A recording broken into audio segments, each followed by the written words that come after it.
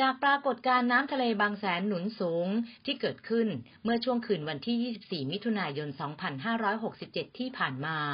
ส่งผลให้เกิดน้ำทะเลทะลักท่วมถนนสายชายหาดวอนนภาบางแสน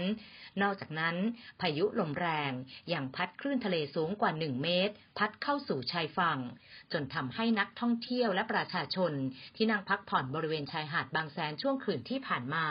ไม่กล้าลงเล่นน้ำทะเล และพากันเดินทางกลับบ้านเนื่องจากเกรงว่าอาจจะก่อให้เกิดอันตรายด้วยนั้น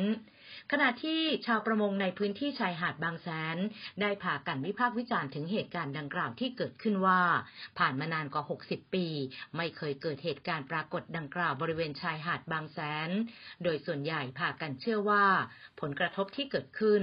เกิดจากการสร้างเขื่อนกันขึ้นบริเวณชายหาดบางแสน ที่ส่งผลให้น้ำทะเลเปลี่ยนทิศ และเมื่อเกิดขึ้นลมแรงทำให้คลื่นดังกล่าว พัดเข้าสู่ชายฝั่ง ซึ่งอาจจะก่อให้เกิดอันตรายต่อประชาชนและนักท่องเที่ยวได้นั้น ล่าสุดผู้สื่อข่าวได้รับการเปิดเผยจากผู้อำนวยการ สถาบันวิทยาศาสตร์ทางทะเลมหาวิทยาลัยบุรพา ดรบัลลังเนื่องแสง เกี่ยวกับเหตุการณ์ดังกล่าวที่เกิดขึ้นว่า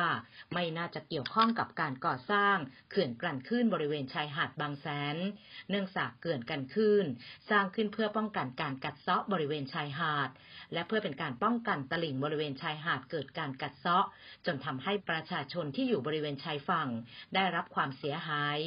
ส่วนคลื่นทะเลที่สูงประมาณ 1 เมตร น่าจะเกิดจากช่วงมรสุมที่ทำให้เกิดคลื่นลมแรง อย่างไรก็ตาม การสร้างเขื่อนกันคลื่นดังกล่าว เป็นวิธีแก้ไขปัญหาด้านสิ่งแวดล้อม และผลกระทบบริเวณชายหาดกัดเซาะได้ดีที่สุด อย่างไรก็ตาม การสร้างเขื่อนกันคลื่นจะต้องมีการศึกษาสิ่งแวดล้อมให้ดี ส่วนกรณีที่มีการวิพากษ์วิจารณ์ว่า การสร้างเขื่อนกันคลื่นบริเวณชายหาดบางแสน ส่งผลให้น้ำทะเลเปลี่ยนทิศนั้นยังไม่น่าจะใช่เรื่องจริง